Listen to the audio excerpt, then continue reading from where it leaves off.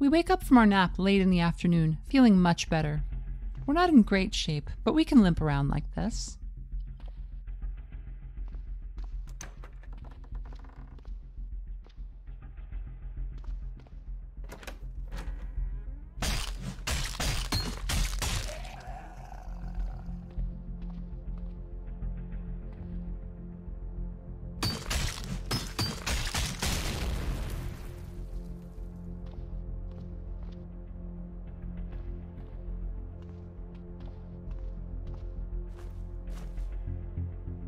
Out the immediate area, we spot something strange.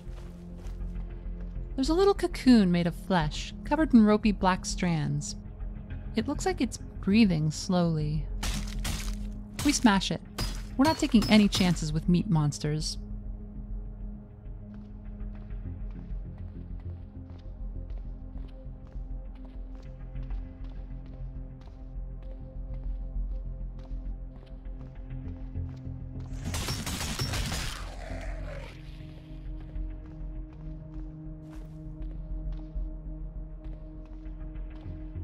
Get back up onto the roof of the gun shop. Climbing should be safer now that we're somewhat healed up.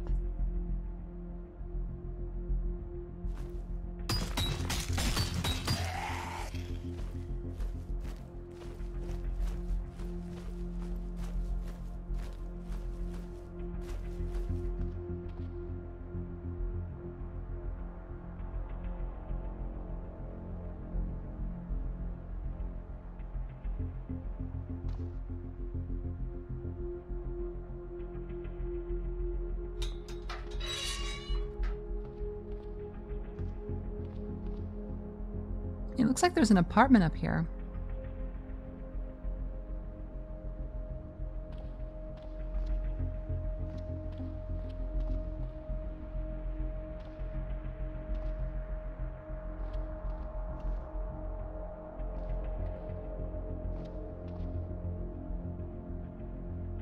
We could maybe figure out how to pick this lock? We'd need a butter knife or something. And we'll have to look around for some wire.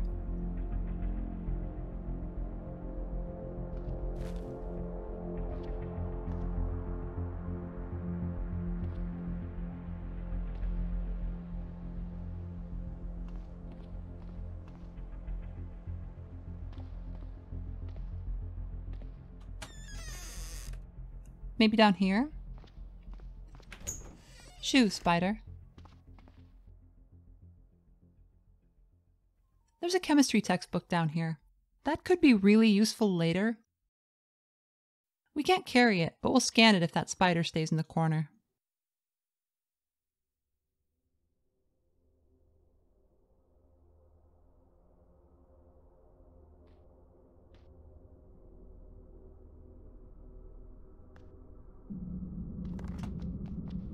Hunch, we check out the water heater, finding out that there is clean water still stored inside. We can dispense some of it into our canteen. That'll keep us going for a while. We'll put some in these bottles, too.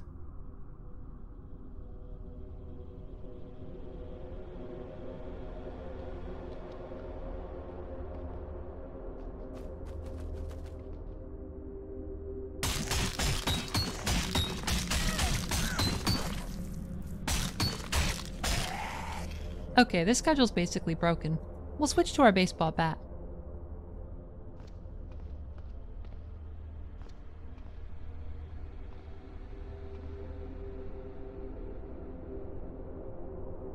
There's some wire out here.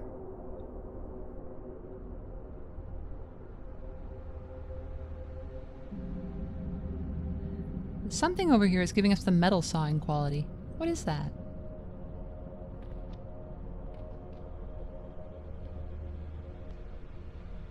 Hmm.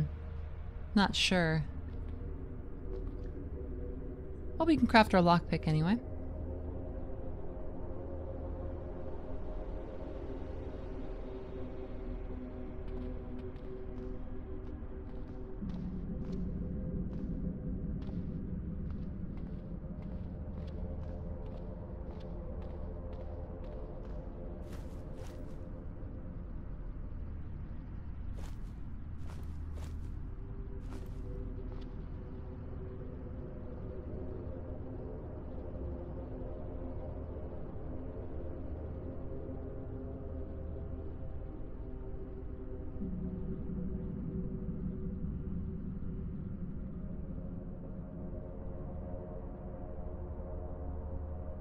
Unfortunately, it doesn't look like we're getting anywhere. We are not proficient with lockpicks, and this is just beyond our ability. It's also taking a really long time.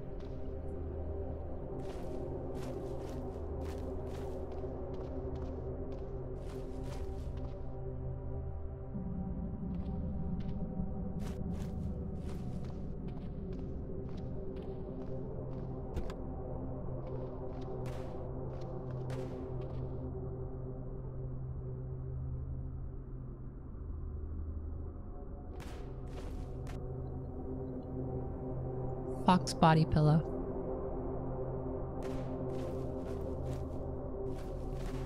As the sun sets, we hear gunfire again. We have no idea where it's coming from, but we'd sure like to know.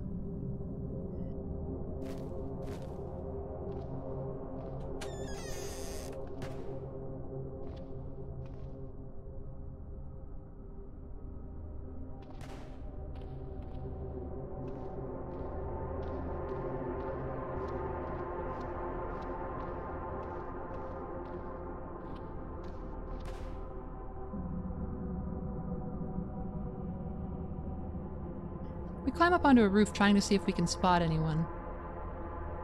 No luck.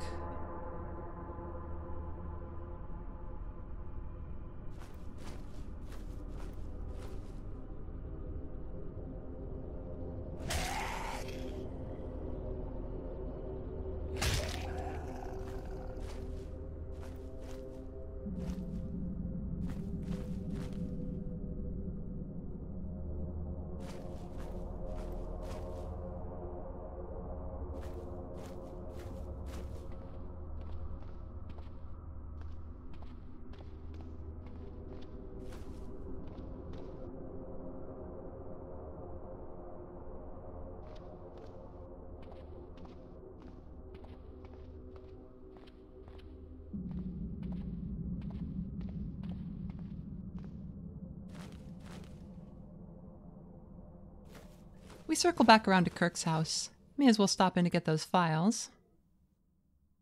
There we go. It's all safely on the drive now. We wander the home looking over his stuff, wondering if it'll tell us anything about what kind of person he is.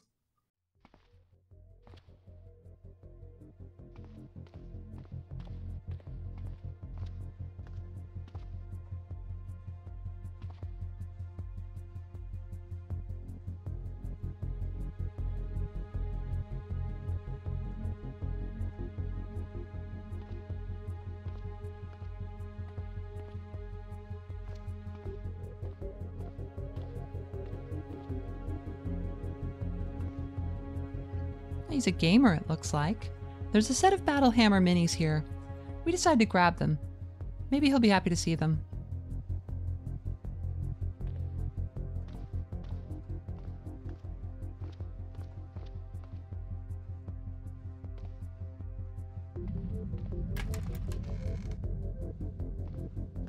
We're going to need a bag if we want to take anything else with us. We recall that there was one in the basement where we crashed.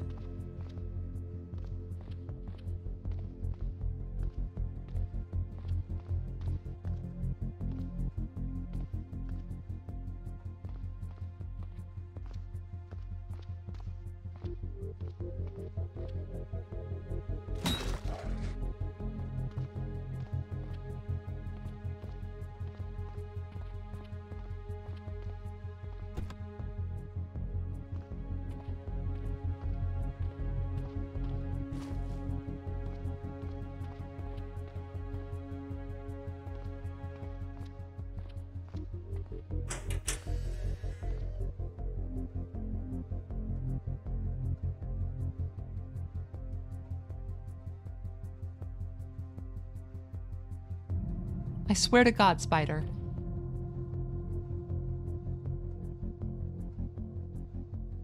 Here it is. Let's get moving.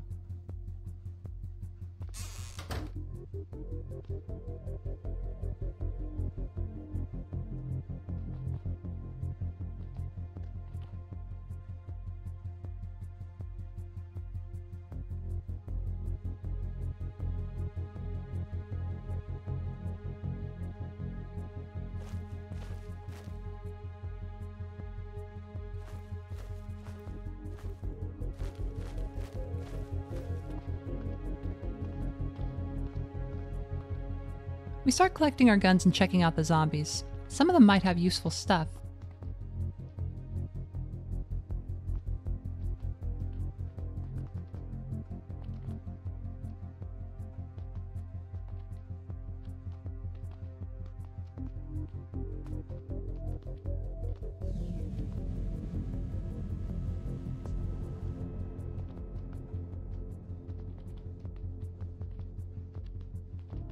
We pick up some snacks, a lot of drugs, a new multi-tool,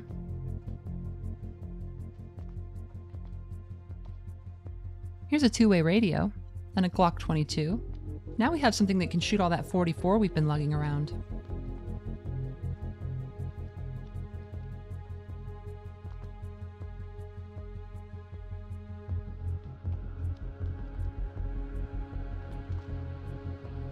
Unexpectedly, we come across a hacksaw on one of the bodies. Now, this is a lucky find.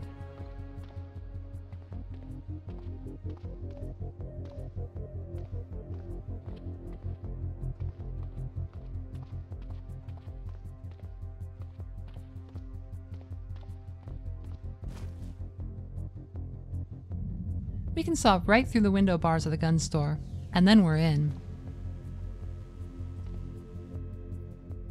It's like Survivor Christmas. Right away, we find a magazine on submachine guns, some mods, ammo pouches.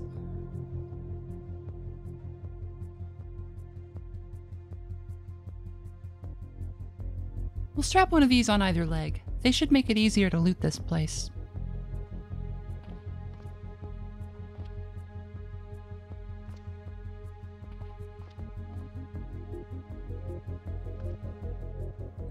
There's a Lee Enfield here, a British bolt-action rifle from World War I. It's an impressive weapon, but it uses 303 British, and that's not a caliber we're likely to find anywhere. We passed by a display of pocket pistols and toured the racks out on the sales floor. There's a Mini 14 here. This is a good gun, while this one only works in single fire mode, it's more accurate than a basic AR-15, which means it will tend to do more damage as we can hit more precisely with it. It doesn't use the standardized STANAG mags that we've been finding, but it's still really good at shooting 5.56.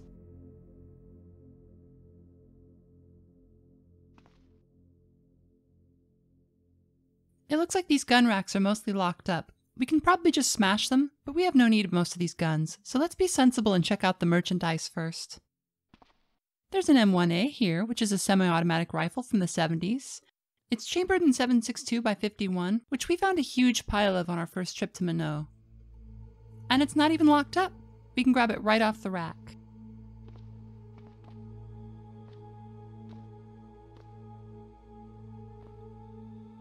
We find a Remington 870 Express here, which could be a good replacement for our Mossberg. We don't have it on us to compare them, but there's no harm in grabbing it.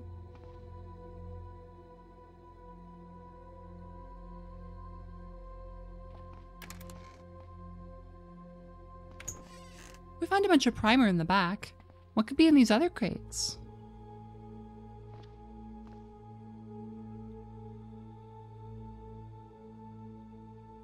We upgrade to a large tactical backpack first thing. That'll help us get more loot out of here.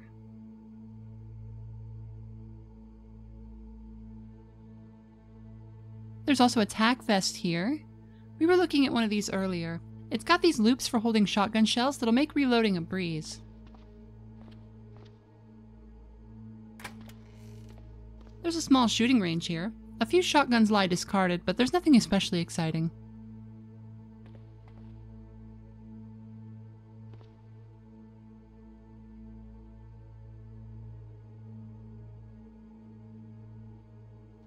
Need to get a crowbar to get the rest of these boxes. We head upstairs to check out the apartment.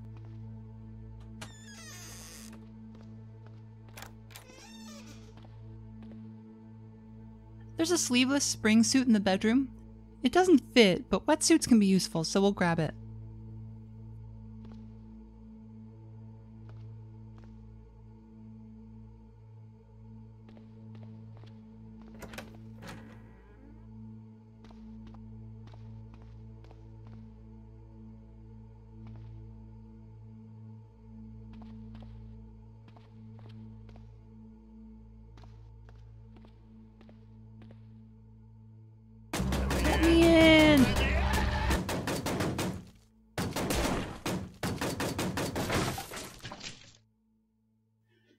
There's a workshop here, but it seems like it's empty.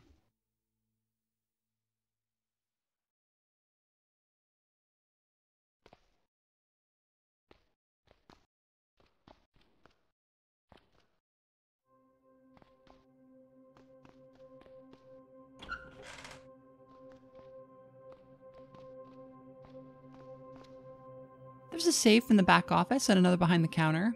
That's where they must be keeping all the ammo. Let's get what we have so far back to the boat.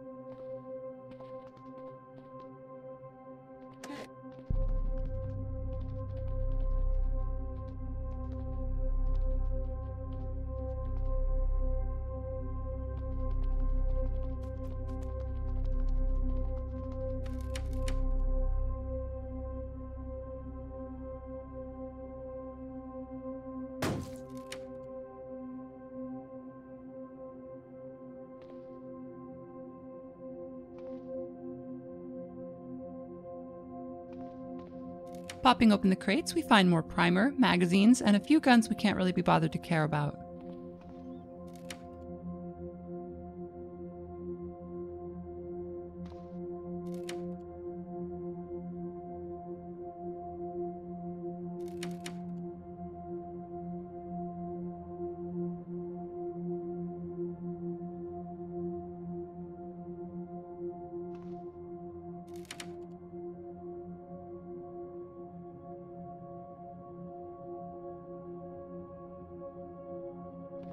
We still have that lockpick. Let's see about cracking the safe.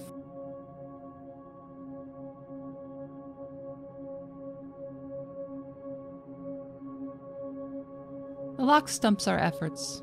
Hmm.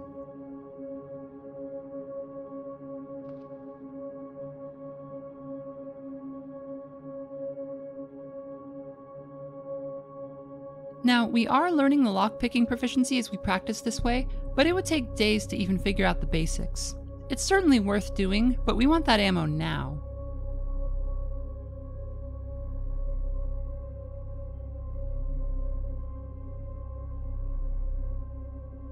Unfortunately, something gets stuck as we work, and we find that we've succeeded in jamming the lock. Damn it.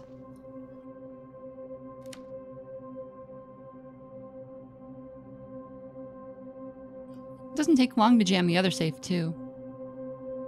There are a lot of empty magazines in these lockers. It's like they're taunting us.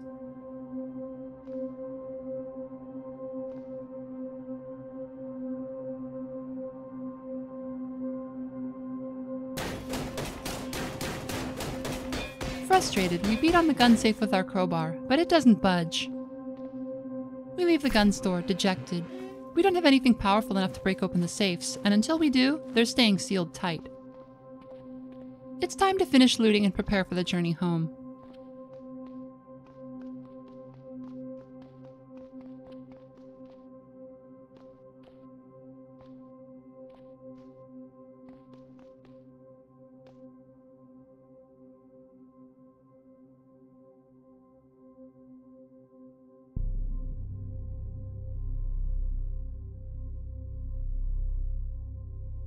Hey, hey, a newspaper. Zombies. Whether they're all rioters or just a few, it is now undeniable. The dead walk among the living, adding to the ranks of the psychos ripping our country apart from the inside. Full photo evidence inside. Unfortunately, the reports were too little too late.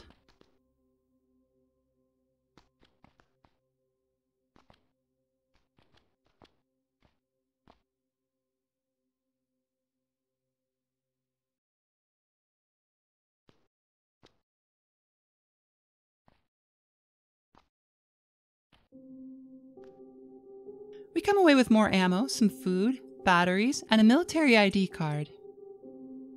Interesting. It has a chip in it. Maybe it'll open something.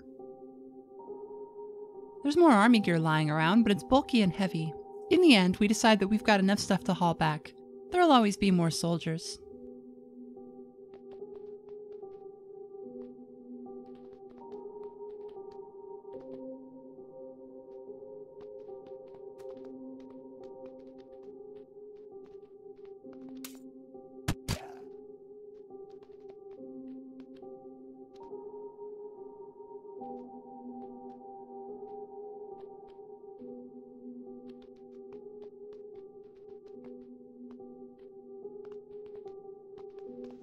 It's time to figure out if we can even bring what we have with us.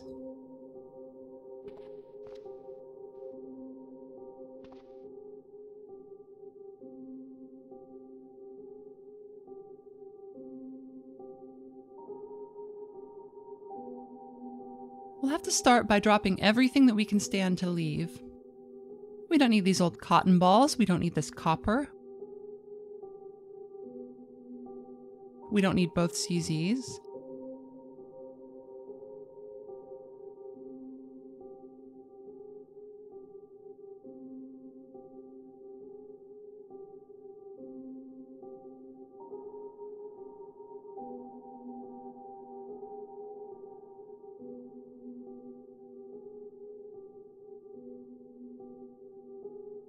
Ditch this heat pack, this broken lockpick.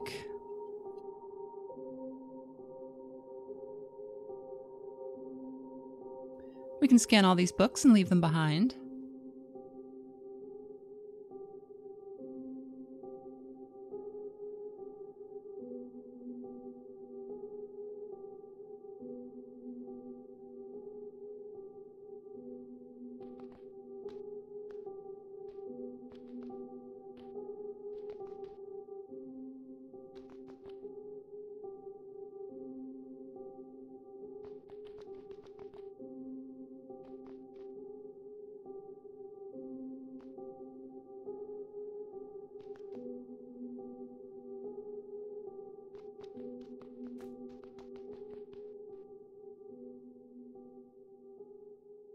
It looks like we've done it. The mission is complete and we've got a lot of loot to show for it. There's no way Mellifera has been keeping count, but we've taken out 763 enemies. We decided to write a diary entry in our e-reader. Not that anyone will ever read it, but it seems like it might be important to keep track of our journey. We struggle to come up with anything to write, Constant pain, terror, and adrenaline speak for themselves in our memory, but it's a lot harder to express that in words. I took a kayak to western Minot. It was a slaughterhouse. I must have killed over a hundred zombies and a wasp the size of a horse.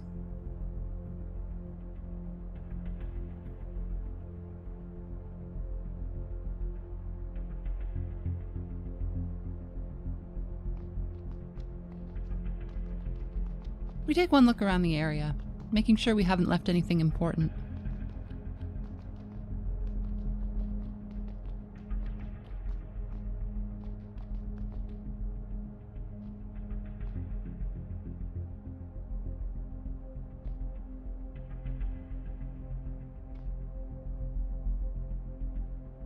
We can toss out some of these MRE extras. We don't need napkins or beverage bags, and we have tea at home.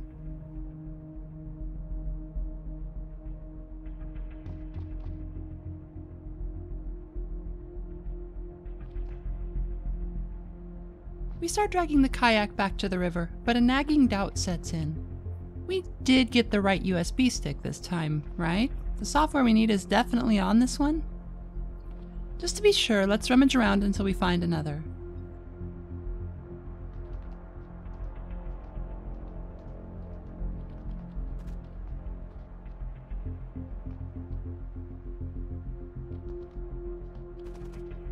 We copy the files from Kirk's computer again. Alright, now we're sure that we have it.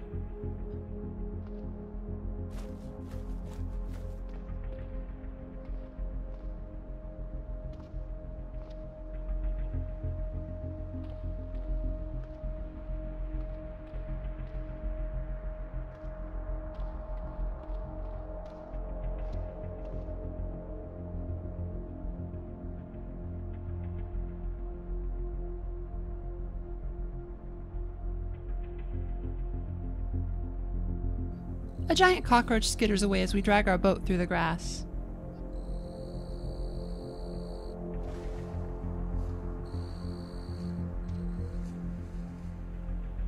And just like that, we're out of here. We rode halfway home before we realized that we left our new shotgun back at the store. Oh well, the 870 Express is nice, but it's pretty common. We'll probably find another one at some point. The full moon and early dawn color the sky in lovely violet hues, promising a beautiful day to come. But suddenly we're swallowed up by a deep mist. We click our flashlight on to try and squint through the fog as we paddle.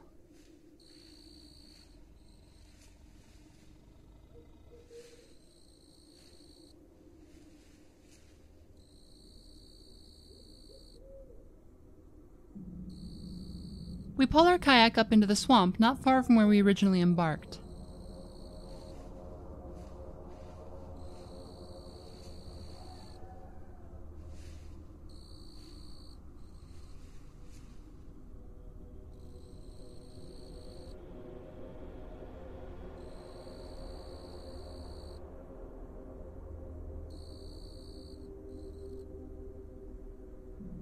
Big slug.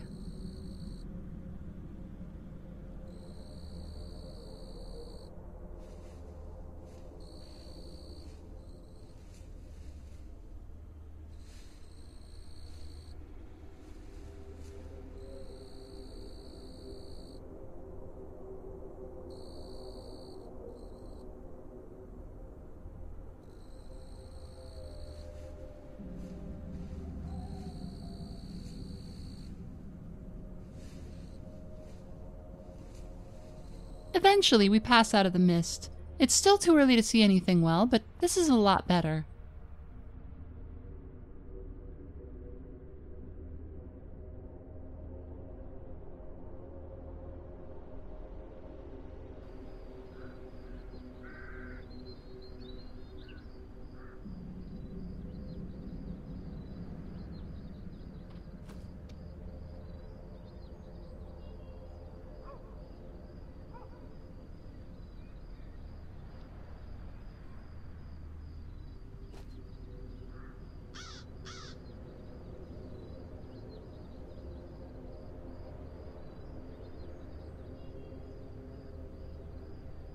Clouds roll in as we return to the mall, arms aching from hauling the boat.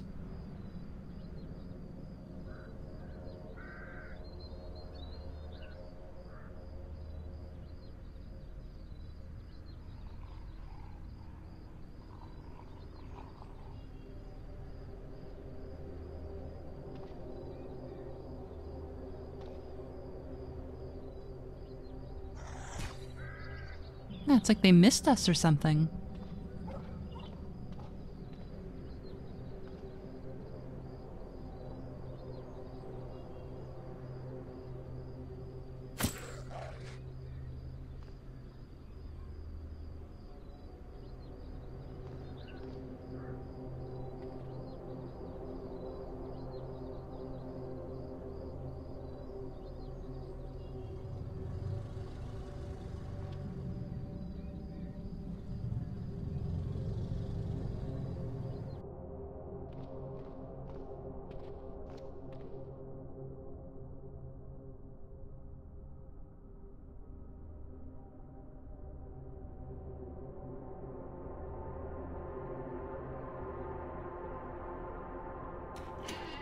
Home, such as it is.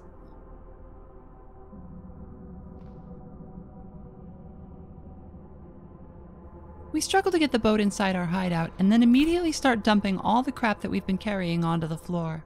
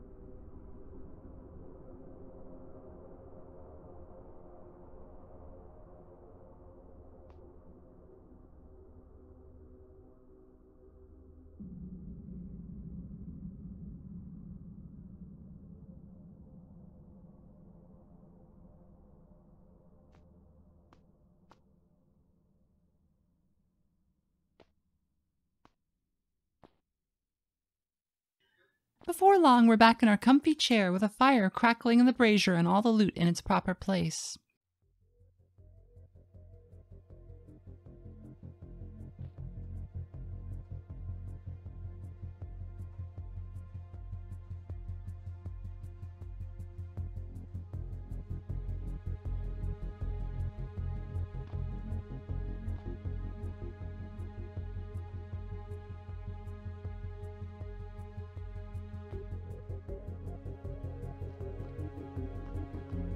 There's an open can of tomatoes that we idly pick at, using the last good leaves of lettuce as a sort of wrap for them. It's not particularly appetizing. Maybe we can do better.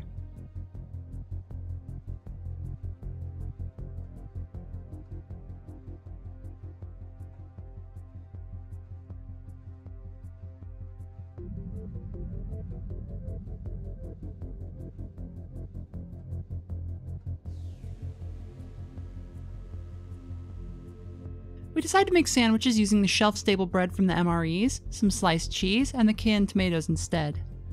It's better?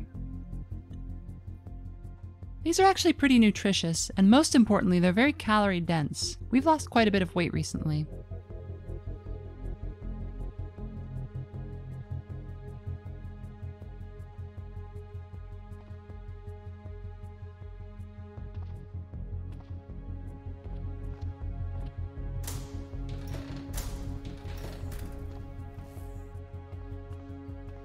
Sun finally coming up, we decide to head out and find Kirk.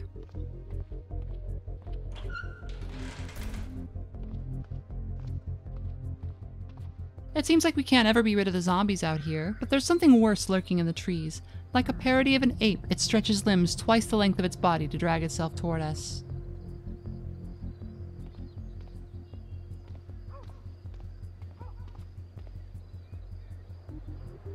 Let's try out this 40 Smith & Wesson.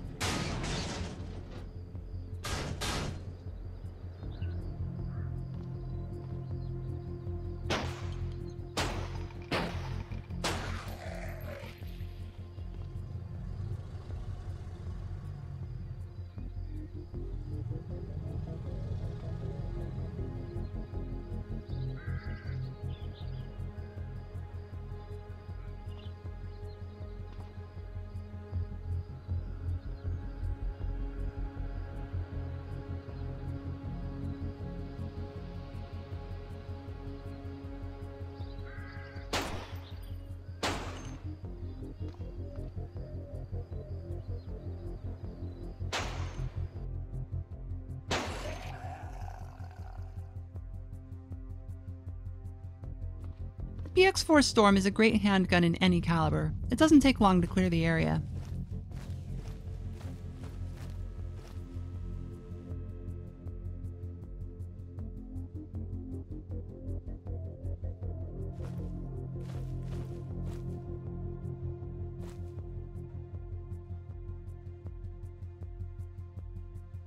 We find Kirk where we left him, still nursing his spider bites. Did you get it? Sure did. We toss it to him, and he plugs it into a laptop to check that everything's still there. Do you really want to stay out here on your own? You're still not looking too great. Kirk looks us over. We are covered from head to toe in stinking gore and bandaged wounds. Uh huh. And you're what? Thriving? Minot was totally overrun. I had to kill hundreds of them just to get to your house. But I pulled it off, didn't I? And there's plenty more ammo where that came from. Honestly, I didn't think you were going to do it. I'm actually pretty impressed that you put your life on the line for this. I don't think there are that many of us left. We should stick together. Yeah, I think you're right. You said you were in the mall? Yep. Well, lead the way then, unless you want to stay here. And with that, Kirk joins our party. Let's try talking to him. NPCs tend to get a bad rap in this game. Except for a few bugs, their AI is actually pretty decent. It's just that all the settings are buried in nested dialogue menus that don't always exactly say what they're going to mean. We're going to give Kirk some simple instructions that will prevent him from running off on his own and getting killed. He has no armor and he's probably still poisoned, so we need to protect him. Turning off ranged weapons might also be a good idea, but in most cases this setup is enough. He'll only attack enemies that he can reach without moving. He'll follow us at about 4 paces even if there's an enemy nearby. He won't try to use grenades, and he won't shoot anything if we're in the way. We'll also open up his miscellaneous rules and set his basic behavior. Essentially, we want to pretty much tell him to not do anything on his own.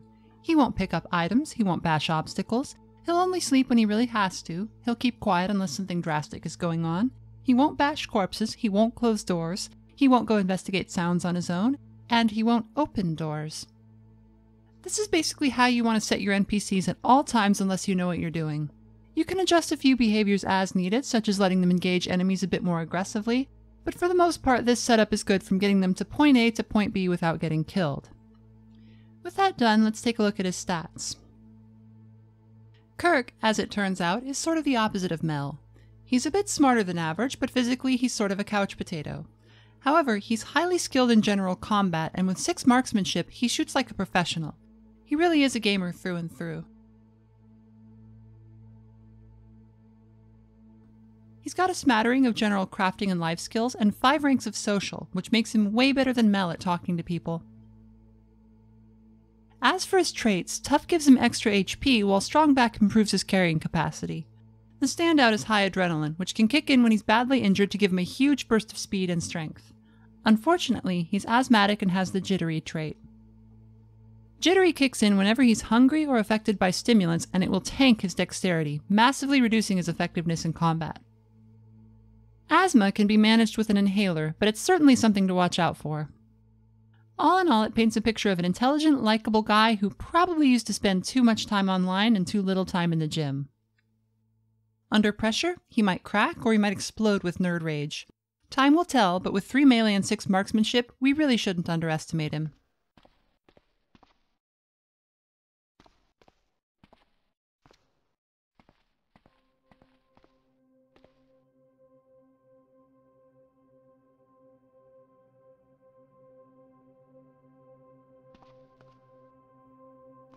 Hmm, for some reason he's not following us.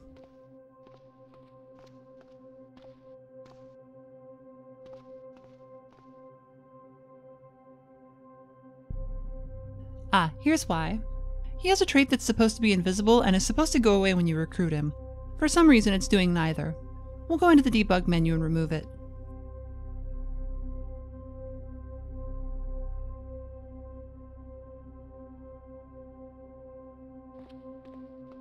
There we go, no problem. Now he's behaving appropriately. Back to exploration.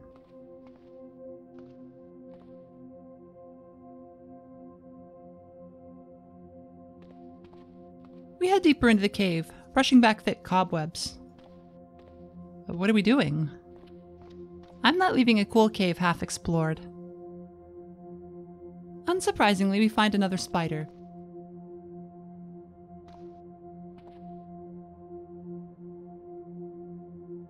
It manages to bite us in the foot before we can shoot it. At least we know the poison isn't lethal, it just hurts a lot.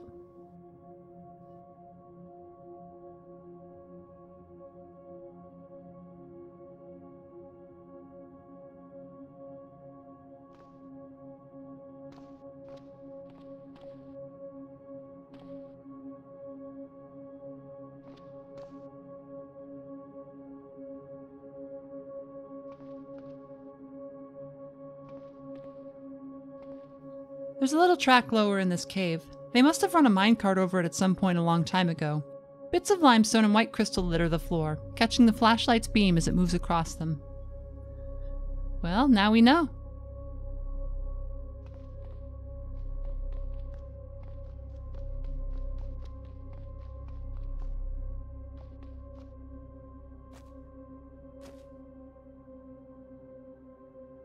Our foot throbs painfully as we hike back across the parking lot. Thankfully, it's a short trip. I've cleared most of the main area out, but you've got to watch out still.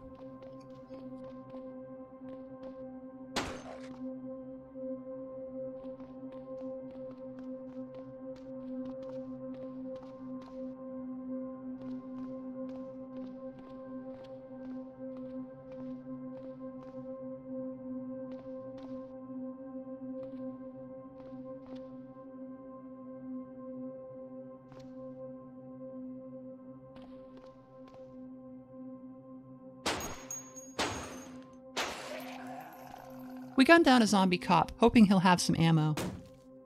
He does. We score a few buckshot shells along with a two way radio. We decide to hand one of our radios to Kirk. This way we can keep in touch even if we're not close by.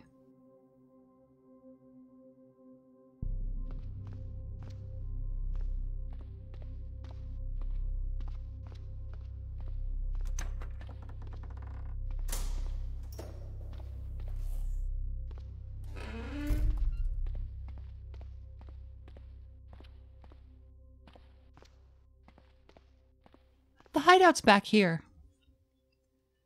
Damn, bitch, you live like this?